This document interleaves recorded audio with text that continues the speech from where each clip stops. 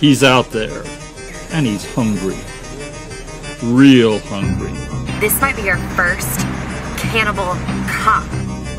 He's cleaning up the streets, one bite at a time. Don't get in his way, or you're on the menu.